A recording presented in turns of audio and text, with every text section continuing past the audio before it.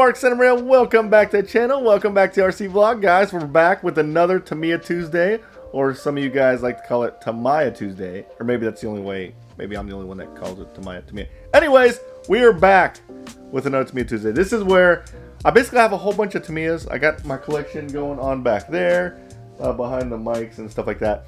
But I want to build them, and I'm having a good time. So we started building one on the very first Tamiya Tuesday, which was that guy. Look at how far I got, guys. You will not believe how far I got. But before we go through that car and how that how that build is going so far, I do have something else, which is down there. I got more Tamiyas, more Tamiyas. So we're gonna unbox those Tamiyas. We're gonna go over this build so far, and man, is it so much fun. So what do you guys want to do? You want to go over this car, the build so far, or do you want to see what's in that box right there? Um, I'm guessing you guys want to see what's in that box. Let's go ahead and open it up. All right, here we go. Woo! I'm pretty excited about these. So let me give you a quick story on how these came about. So basically, Doug, he's one of my subscribers. He's actually a good friend of mine. He's been racing in my area for a very long time.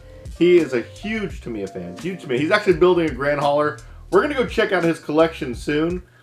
But he sent me a message and said, hey, Mark, check this out. They're back in stock. You should probably pick one of these up.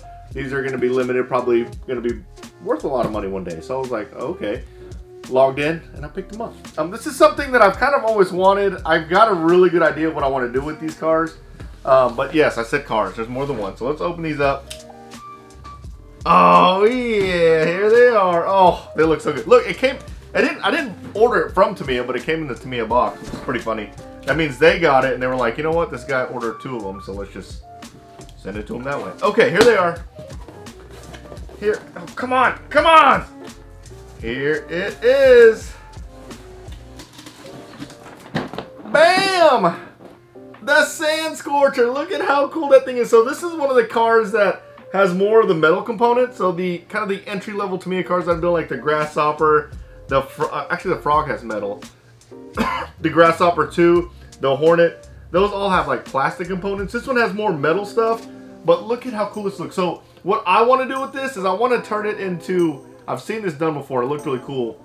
Like um, Herbie, you know Herbie, like her, the the 53 number 53 uh, bug.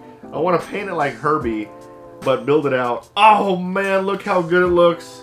The Sand Scorcher. I'll put a link in the description below you, you already know. I don't even have to tell you. You already know. I got two. I had to get two. You have to get two, especially these. Like, if you're going to build one, I feel like you have to have one in the box. So we're going to put this in the collection. This will get put into the, I guess, the circulation of cars I want to build.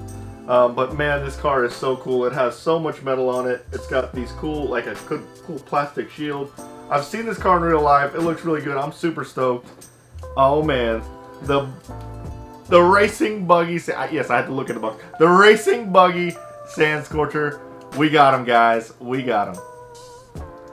All right, so now for this guy. Man, look, I, I got so far with this. So this is only about, I would say about three and a half hours of build. And I'm almost completely done. Look, I mean, I got all the suspension pieces on there already.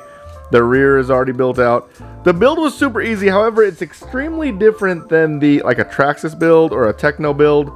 So on a Traxxas or a Tekno build, basically you do bags, all the screws for that bag are in there. So essentially you open bag A and you can go all the way through bag A, complete bag A, then bag B, and then at the end you kind of put it all together. In this case, basically all the screws are in different bags. All the parts trees that are down there are in different parts trees. And it tells you Here's the manual over here, but basically it tells you which bag to grab out of what. So essentially the way you build Tamiya kits is you have to unbox everything and unbag everything, put it all out, and then kind of pick and grab what you need. It's not separated based on like stages. So you can't sit down and say, okay, I'm gonna do bag A through B tonight.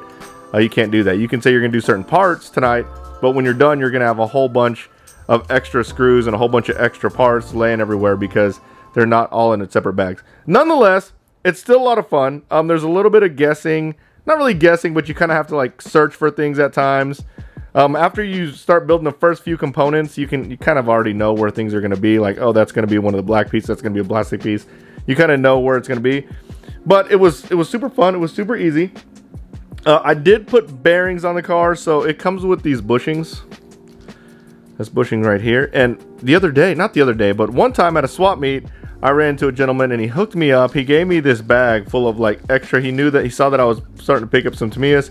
He gave me this bag of extra stuff and he had a whole bunch of bearings. He said there was enough bearings for a full kit in there and there was. So there are bearings in there, which is really, really cool. Also, I got these servos. These servos that I use, they're just standard servos. I got them on eBay. I actually looked up, I think I looked up Futaba 3003, I believe. But anyways, I'll put a link in the description below if I can find a link to those servos. But they're just some cheap servos. They're not high performing servos. It's pretty much just something to stay in like keep that servo place so I can finish the build. But I don't actually see it needing to like perform really, really well.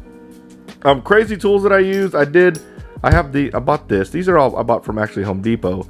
Uh, but these are just small needle nose pliers. Um, and then I got the the flush cutters. Can you see that? Is that zooming? Well, that's zooming very well. Let, let, let's see. Yeah, it doesn't matter. Anyways, they're flush cutters, so that way, whenever you cut the parts off the tree, there's not a whole bunch of excess plastic on there. And then I actually have the Tamiya, the Tamiya screwdriver. I read somewhere where someone said that the Tamiya screwdriver really, really helps. Like it, it works really, really well. Like it's a better screwdriver to make sure you have a good screwdriver when you use this stuff or screw stuff in. That way you don't strip it out. Uh, I also have the ProTek screwdriver for the smaller pieces. There is a smaller Tamiya screwdriver. I'll see if I can find it and put in put in the link of, in the description below also for these screwdrivers. But this was really really cool. Um, other than that, building the body wasn't as bad as I thought it would be. These stickers all they were all already die cut, so you didn't have to worry about like cutting the stickers out. That was one of my things. And I knew I knew building like uh, again that one was my example. I knew that building Tamiya kits, I always stop at the at the body because the body takes so long. On a lot of the kits, you're halfway done whenever you get to the body. So I started with the body this time. That way I knew when I got the car done, it was going to be a lot of fun. I put the stickers on. It didn't take me that long. I want to say 30, 45 minutes to put the stickers on there. I did like kind of, what's cool about these is like if you want to get them perfectly straight, if you stick them on there, as long as you don't push them on really hard, they do come back off. So you don't just destroy the sticker. But as you can see, the stickers went on very clean. Looks really good. Everything lined up. Yep, everything lined up really good. That, not as great. It could have been better. This side's better. Look at that. Oh, yeah. So, not bad. Already built the body. I still have to put the uh, little headlight things right here. I still got to put those on and then put the stickers on that. Um, the only thing that I'm lacking that could take this build to take a little bit longer is I don't want to skimp out on on this. I don't want to skimp out on how the, the driver looks. So I think I'm going to go to Hobby Lobby and pick up some like hobby paint, like a hobby model paint or whatever, and see if I can paint this really, really cool. Because I want to be able to paint my guys, and I want them to look really, really cool. So overall, I'm going to be done with this thing. By next Tamiya Tuesday, I'm going to be done. I actually probably will plug in a receiver so we can get this thing to actually run so we can see what it's all about. I'm sure it's not going to be anything crazy. I actually drove one at the parade because Doug brought one of his to his parade, but I'll drive it inside the house. I think it would be fun. So next Tuesday, next Tamiya Tuesday, I should have this running and we'll start another kit. Oh man, these are so freaking awesome. One more quick tip. I did, I remember Doug telling me that these were going to be a pain in the butt to build. Um, they weren't the easiest. They could have been they could have been easier, but the trick I found, it, the hard part is getting, so basically it's a three-piece wheel, right? There's the center piece, and then there's these outside pieces that you push together like a bead lock. Basically, getting that center piece is hard because these this rubber doesn't really flex. So the, what I've seen, what I've I found to be easiest is put the wheel in like this. So this is the center piece of the wheel, right? Um, put it in like that sideways, and then you can just kind of rotate it in place. Uh, I'm going to see if I can do this one hand. I know I can do it with two hands. There you go. See, you rotate it in place, and then it's nice and nicely fit in there. And then there is the outsides, and then basically you put them together. But that tip did help. I remember Doug telling me to do that. Basically, slide it in sideways first, uh, perpendicular to the tire. Don't try to pop them in. And uh, yeah, you can get those wheels on way freaking easier. Well, I hope you liked this video, guys. Everything I showed you in this video will be in the description below. Thanks for watching, guys. If you liked this video, smash the like button, subscribe to my channel, turn on the notification bell, and you guys will see me next time. Later, guys.